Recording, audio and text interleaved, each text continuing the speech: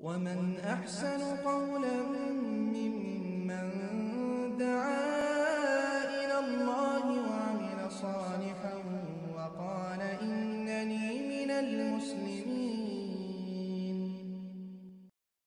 ওয়ালাইকুম আসসালাম রহমতুল্লাহ একদিন বোন আপনি জানতে চেয়েছেন স্বামী স্ত্রীকে মুখে বলে যে আমি তোমাকে তালাক দিয়ে দিলাম তাহলে কি ইসলামী আইন অনুযায়ী সত্যি সত্যি তালাক হয়ে যাবে আহ, জি, যদি কোনো স্বামী তার স্ত্রীকে মুখ দিয়ে তালাক, আমি তোমাকে তালাক দিলাম, এ কথাটি বলে, সেটা মজার ছলে হতে পারে অথবা রাগের মাথায়ও যদি বলে থাকে, সেক্ষেত্রে তালাক হয়ে যাবে।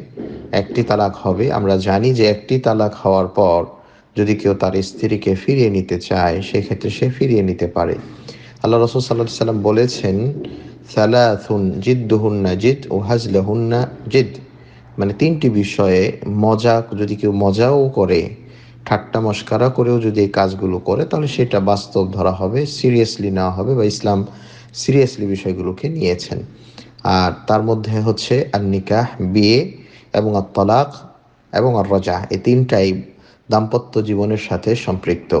নিকাহ বলতে বিয়ের ক্ষেত্রে যদি কোনো গার্জিয়ান কোনো কন্যার গার্জিয়ান যদি কাউকে বলে যে, আমি তোমার তোমার কাছে, আমার মেয়েকে তুলে দিলাম বা আমার মেয়েকে তোমার কাছে বিয়ে দিলাম, মুখে যদি এই কথাটুকু বলে, যাকে বলবে, সে যদি বলে যে আমি কবুল করে নিলাম, তাহলে কিন্তু বিয়ে হয়ে গেল।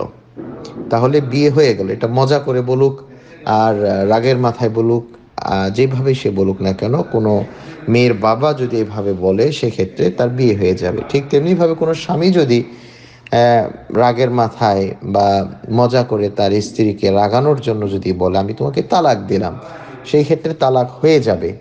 সেই ক্ষেত্রে তালাক হয়ে যাবে। যদি প্রথম তালাক হয়ে থাকে, সেক্ষেত্রে সে চাইলে তার স্ত্রীকে ফিরিয়ে নিতে পারে।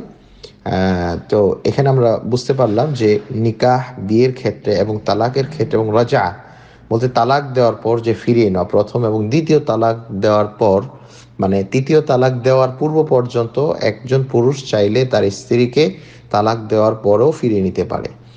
একবার তালাক দিল, তারপর তার মনে হলো যে, না, এই স্ত্রীর সাথে সে সংসার করবে। তো সেই ক্ষেত্রে তাকে ফিরিয়ে নিতে পারে। তাকে যদি বলো, আমি তোমাকে গ্রহণ করলাম বা তাদের ভিতরে যে সহবাস হয় বা তারা যদি মুখেও যদি বলে, আমি তোমাকে ফিরিয়ে নিলাম, তাহলেই যথেষ্ট। এটাকে রাজা বলা হয়।